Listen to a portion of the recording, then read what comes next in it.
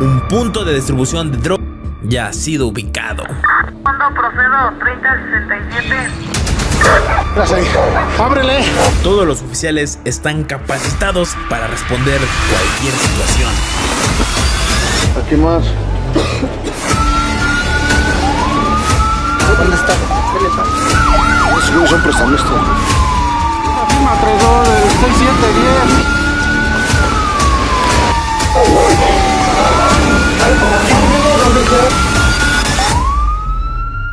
Es el turno del grupo especial a cargo del comandante Casas, quien ya tiene un plan estratégico para así asegurar a los delincuentes.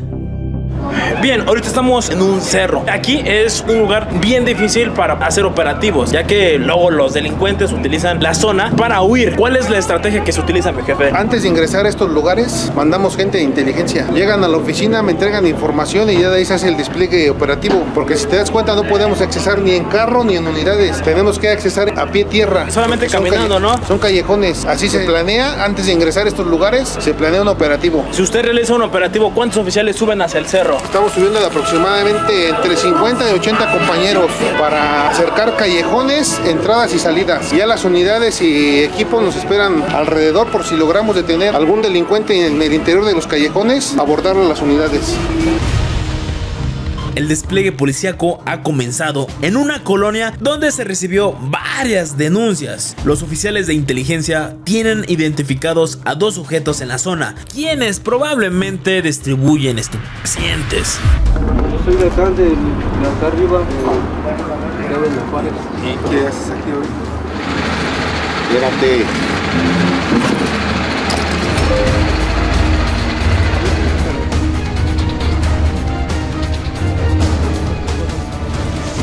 Un segundo sujeto, quien momentos antes alegaba que solo iba pasando y que negaba tener relación con el asegurado, se acerca para recoger sus pertenencias, confirmando su conexión con el detenido. Estamos pasando. Aguántate, aguántate. Ya, En la calle,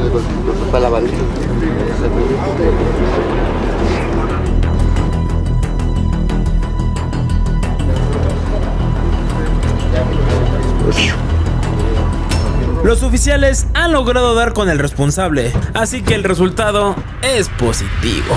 ¿No es de nadie? No, no sé de quién sea. No, pues yo nada más lo que traigo ni... Ese que está ahí. También vicioso, ¿no? Lo que es, o sea, por eso, también es vicioso. Pero esto no termina aquí. Los oficiales indagan un poco más para dar con el verdadero responsable de la venta de pacientes. ¿Cómo te llamas? Octavio ¿Octavio qué? Fecha de nacimiento, día, mes y año. 28 de diciembre de 1990. ¿Dónde vives? Calle Hidalgo, ¿Eres originario de dónde? Oaxaca de Juárez. Sí. Muy bien, vamos a mostrarles qué es lo que le encontraron al sujeto ya asegurado. Miren, al parecer le encontraron bolsitas que muy probablemente sean sustancias nocivas para la salud, dos celulares. El sujeto dice ya haber tenido cinco procesos por el mismo delito. ¿Has estado recluido en algún penal? Seguro. Te voy a verificar. ¿Estuviste recluido en Barrientos? ¿Por qué delito?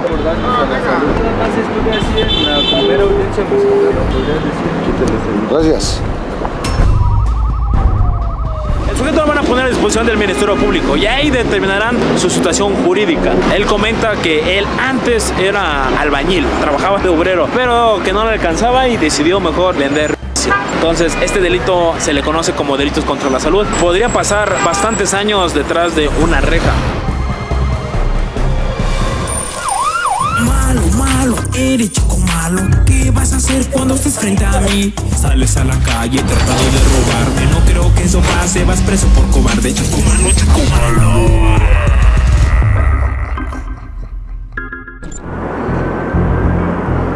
Tlanepantla es un lugar asentado entre cerros. Las calles son más cerradas y estrechas. Perseguir a los delincuentes lo complica un poco más, siendo así un foco rojo, ya que los delincuentes conocen muy bien estos terrenos y pueden escapar fácilmente. Pero los oficiales de Tlanepantla siempre se encuentran vigilando las zonas más conflictivas, aunque sean inaccesibles.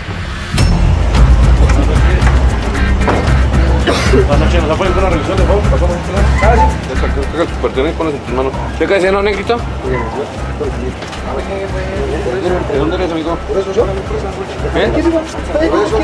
Tortillas, Me dijo Checa con tu permiso, amigo. Lo que llega a sacar. Esta firma de 27. Ahí está, 27, a ver, ahí está. Ahí está. Acá también.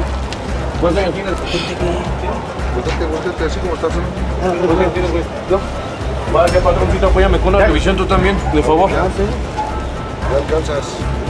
Aquí está el 67 también.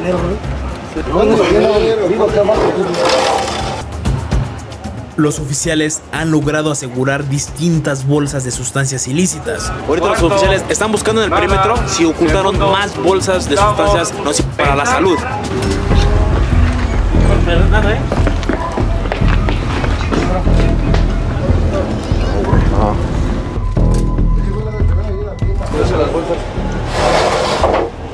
Aquí más. Algunos oficiales entrevistan a los sujetos en búsqueda de más responsables. Oye, no tiene una décima, qué bajito. ¿Es de la? No, la verdad, dime, güey. La mera verdad. No, es que me la arreglaron. No, sí, pues es que yo no soy así que diga. O sea, me pueden hacer los exámenes. Ahí tengo, ahí atrás, yo trabajo, ahí tengo la pensión donde guardo los caracoles. Vale. Sí, no, no, ¿Dónde está? ¿Tú tienes las llaves de la moto? Llaves de la moto. La verdad. Ahora sí que casi como le dije las cosas cuando llegaron. Que nos diga dónde está el... No sé ni manejar moto oficial, no manches. Ahorita le damos en la... Va. ¿No tiene ido la luna de la... Los sospechosos niegan saber algo acerca de las sustancias encontradas y también se rehusan a dar información que lleve a la captura de más responsables. Muy bien, en este punto se cree que era un punto de venta de sustancias nocivas para la salud. Los oficiales actuaron de manera oportuna y aseguraron a dos sujetos que dentro de sus pertenencias portaban. Al inspeccionar más el área se encontraron más envoltorios de sustancias nocivas. Lo vamos a subir del otro lado. Los detenidos serán presentados a la autoridad correspondiente, pues los delitos contra la salud es muy grave y será un juez quien determine su situación jurídica.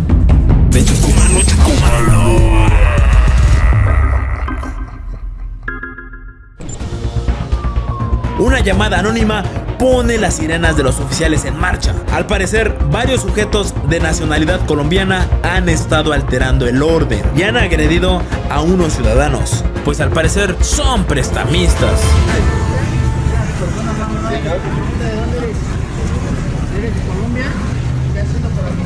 de vacaciones. De vacaciones necesito tu pasaporte. Pásame todas tus pertenencias, amigo. Todas. Las de aquí también, por favor. Pertenece siempre me toca. Al comercio. ¿Seguro? ¿Qué comercio? Ya, ya la abrí. Muéstrame qué es lo que traes, amigo. ¿Vale? Pues ahí déjame tu dinero, amigo. Alexander. ¿A qué te dedicas? Al comercio, eh. ¿Al comercio, amigo? Yeño. Los oficiales inspeccionan detalladamente a los sospechosos. Estos empiezan a notar irregularidades en sus argumentos, pues aseguran estar de vacaciones en el país, pero también dicen dedicarse al comercio en el territorio. Esto hace dudar a los uniformados.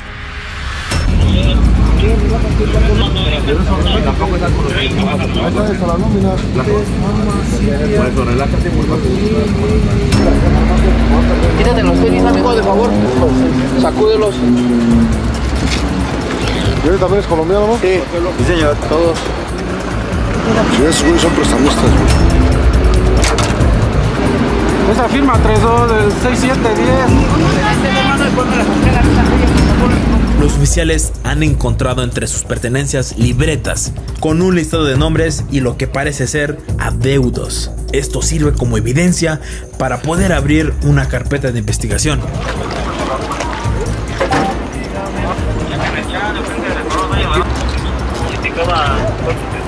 Eh, hace unos momentos acaban de asegurar a tres sujetos que al parecer intentaban cobrar deudas, deudas ilícitas. Esto se le conoce como un delito y también se le conoce como gota a gota. Ellos son de nacionalidad colombiana y serán presentados ante el Ministerio Público para que ahí determinen su situación jurídica. Miren, hacer préstamos de manera ilícita es un delito. Los oficiales realizarán las diligencias. Todo esto fue gracias a una llamada anónima.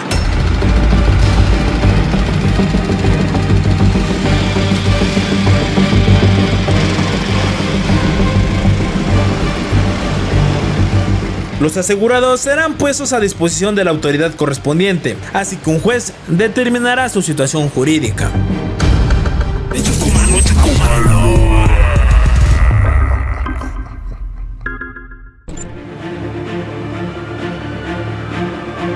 Ok, a continuación, los uniformados realizarán una intervención en un lugar que se cree que venden sustancias nocivas para la salud. Este operativo lo realizarán en conjunto con la Fiscalía y personal de la Secretaría de la Defensa Nacional.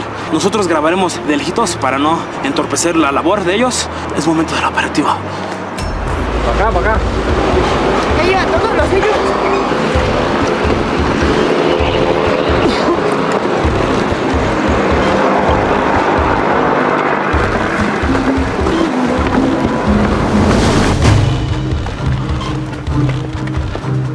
Las células de inteligencia llevan varias semanas investigando este sitio, pues se sospecha que en él se oculta mercancía ilícita que se distribuye en las calles. Es decir, este lugar podría ser un punto de distribución de sustancias ilícitas grande. ¡Ábrele! ¡Ábrele! Allá atrás, sí. por allá. Ahora tú por allá.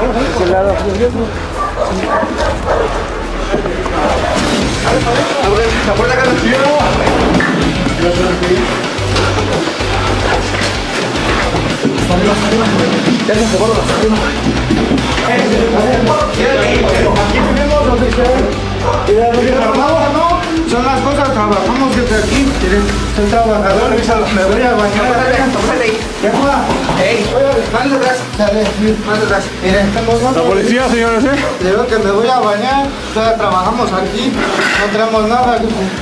Yo me asomé porque estaban tocando la puerta. agáchate, volteate, volteate. Va.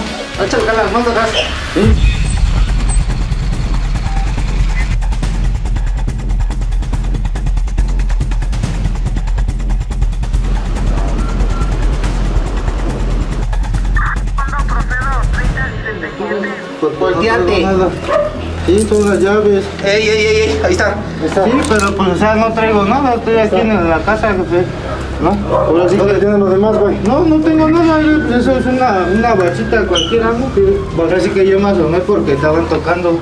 Yo soy su trabajador eh, de, mi patrón tu Benito. Tantas cosas, Sí, yo estoy, yo estoy a cargo de, ahora sí que de aquí, jefe, soy el de mantenimiento. ¿Tú eres el de mantenimiento? Sí, aquí, aquí yo trapeo, aquí. ¿Dónde vives tú? ¿Dónde vives? ¿Dónde? Yo acá abajito me quedo. ¿En dónde? Aquí abajo. A ver, ¿qué te Dice que arriba. No, aquí abajo. Mira, aquí abajo me quedo, nada más mis cosas. ¿Dónde vives? Yo aquí vivo, aquí me quedo aquí abajo. Aquí me dejas el patrón aquí abajo. Tengo aquí mi departamento, de hecho me iba a bañar. Buenas noches. Una pregunta nada más. Va que yo vivo aquí abajo, jefa, trabajo con- Trabajo con don Benito, vivo aquí abajo. Gracias. El sospechoso dice solo trabajar para el dueño del inmueble, pero una inspección a su persona se le ha encontrado una bolsa de sustancias ilegales. Los oficiales continúan con el cateo, ya que han encontrado ya varias irregularidades. Ahí está, aquí, aquí me quedo. Ah, ese cuaderno es del patrón. ¿Quién es su patrón? Donde hago, se llama Benito, donde hago las cuentas como de gas. Por eso tengo ese cuaderno. Los oficiales han comenzado la búsqueda y rápidamente han encontrado una arma de fuego y cantidad considerable de marihuana. El sospechoso ya no puede evadir la responsabilidad, pues la evidencia es muy clara y tendrá que hacer su declaración ante la autoridad correspondiente.